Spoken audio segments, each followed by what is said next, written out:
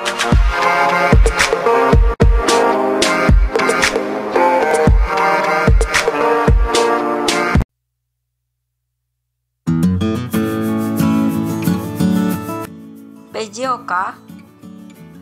Bola voli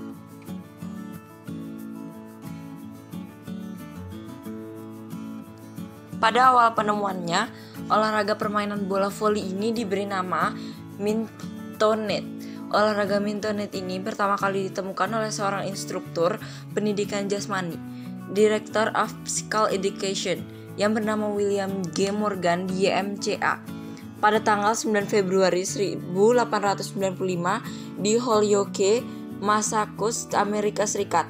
Organisasi ini didirikan pada tanggal 6 Juni 1884 di London, Inggris oleh George William. Setelah bertemu dengan James Naismith, seorang pencipta olahraga bola basket yang lahir pada tanggal 6 November 1861 dan meninggal pada 28 November 1939, Morgan menciptakan sebuah olahraga baru yang bernama Mintonet. Sama halnya dengan James Naismith, William J. Morgan juga mendedikasikan hidupnya sebagai seorang instruktur pendidikan jasmani.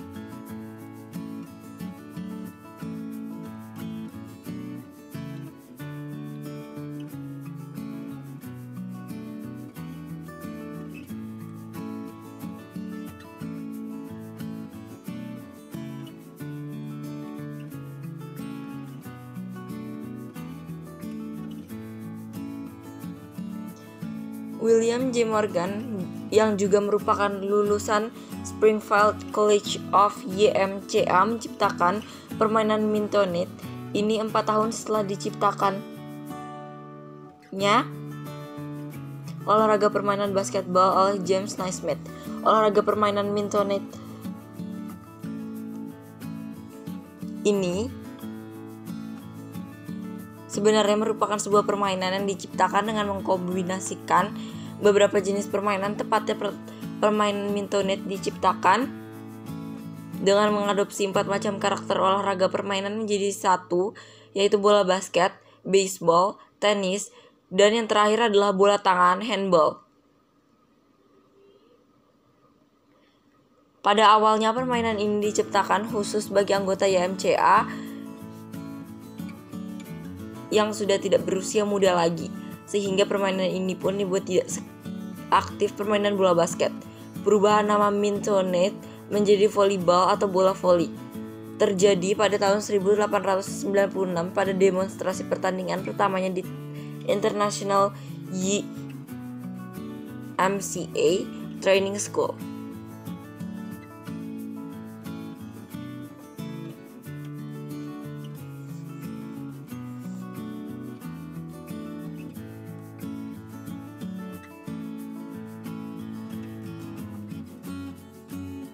Pada awal tahun 1896 tersebut, Dr. Luther Hall Sigulik atau Director of the Professional Physical Education Training School sekaligus sebagai Executive Director of Department of Physical Education of the International Committee of YMCA mengundang dan meminta Morgan untuk mendemonstrasikan permainan baru yang telah ia ciptakan di stadion kampus yang baru.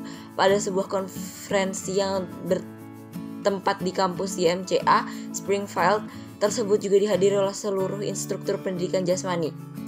Dalam kesempatan tersebut, Morgan membawa dua tim yang pada masing-masing tim beranggotakan lima orang. Dalam kesempatan itu, Morgan juga menjelaskan bahwa permainan tersebut adalah permainan yang dapat dimainkan di dalam maupun di luar ruangan dengan sangat leluasa dan Menurut penjelasannya, pada saat itu permainan ini dapat juga dimainkan oleh banyak pemain.